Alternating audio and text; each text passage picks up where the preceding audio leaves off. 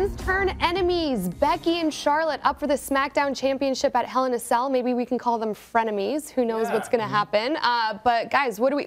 We've seen Becky try and get the title before. It's never really happened for her. I mean, can she beat Charlotte and actually hold on to the title? What's going to happen here? Well, obviously she can beat Charlotte. I think she, uh, the potential is obviously there, but it's it's interesting. Sometimes when rage takes over, it overtakes you too much and mm-hmm. it deviates you away from your game plan. So I think she has to actually rein in her rage a little bit if she wants to win the title. I think she has to let it loose. I think she has to just let it all hang out and get that title on Sunday. She's mad and she's not going to take it anymore. And Charlotte, the more Charlotte's been having her say, the more uh, spoiled and uh, entitled she seemed to me. So I'm kind of hoping Becky wipes the mat with her. Yeah, Becky already had a lot of experience before Charlotte even started training. So she's been paying those dues for so long. So I could see why she's frustrated. In comes this, you know, absolute alpha female, kind of bypasses everybody and becomes immediately one of the greatest female champions of all time. So there, there's reason for her to be frustrated. And if she can harness it, that that's a that's a, a excellent fuel source to mm-hmm. and uh, I kind of want Becky to win. Yeah. Uh, you know what? You guys know me. You know I always cheer for Becky, but I, I love Charlotte. So this one, I'm kind of undecided on this one. I'm on the fence. I think I'll be happy either way. Mm. Whatever happens. Yeah, yeah. pretty much. Um, okay, so let's re- move on to the Raw Women's Championship. Ronda Rousey and Alexa Bliss once again.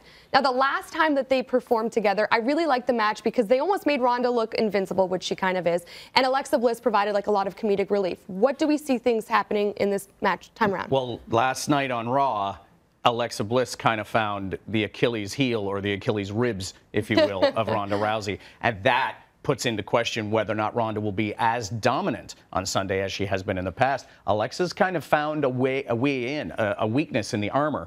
And I think if she exploits that weakness, she's got a real chance to win this belt on Sunday. She made the weakness. Yeah. Did you see the kick, the impact, the slow motion replay of that rib caving in? Now, um, in judo, it's a lot of core, a lot of twisting exactly towards that rib that's injured. Uh, she's a lefty and that was her left side. Oh man, who is, could could definitely um, if you take away her judo because she's not there yet as a professional wrestler, you know, stand alone. She relies heavily on her judo. You take away that judo, and there's a, a human being under there that can be beaten. You know, right. But, but she's still very good at striking, and uh, I think that's what she's going to have to rely on Sunday. And I think uh, Alexa Bliss, with all due respect to her, finding a a weakness in the armor, so to speak, and maybe learning a little bit on how to apply an armbar herself. Does Ronda have the potential to have a very long title reign? Absolutely. Yeah, oh, yeah, she yeah. does, for sure. Yeah. Okay, so guys, let's move on to the WWE Championship where we have Samoa Joe and AJ Styles, which I love. And the last time we saw them together, the match kind of ended on a dull note, a, a DQ. So I think that no matter what happens, this match will be better than their last.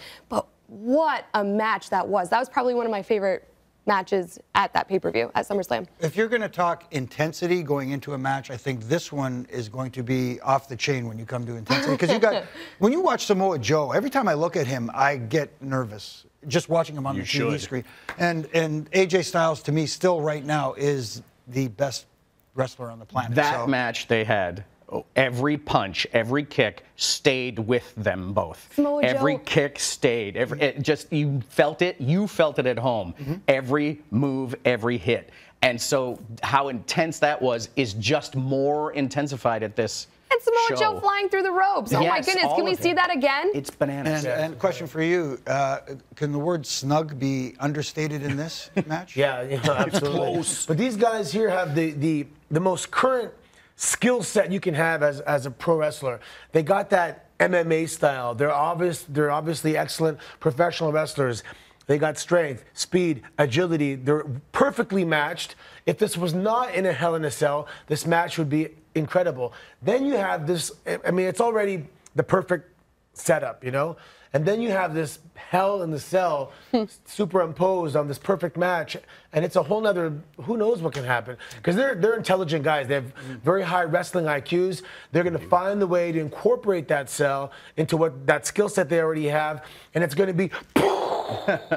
Guys, there's a potential that Samoa Joe, Ronda Rousey, and Braun Strowman could all be title holders at the same time. Is there a more intimidating group? Ooh. I- yeah. think. I'm, I'm, I'm trying. I'm racking my brain here. Who would you prefer to run into in a dark alley? None of them. None of none of them. the One, above? Please, Yeah. thank you. I will. Could be Ronda. I still take Ronda. Yeah. Has this has this matchup between these two superstars become too personal? I mean, we saw AJ's wife and kid being brought into SummerSlam. Like, That, that's the only element of this rivalry that uh, doesn't sit well with me. I always dislike when families are brought into the mix. I wish that could have been left out because there's enough personal between them. I love it because it makes Samoa Joe more devious to me. And uh, D- Joe, while intimidating, has always needed a little Lex Luthor in him, and he's got and, it right here. and shout out to how funny he was on the mic. He's I mean, so they were like really, he really dissed AJ Styles, but it was so funny. Yeah, people uh, obviously when they're in the ring, you know, the whole setup, the entrance, they're on a platform, there's lights on them, they become superstars.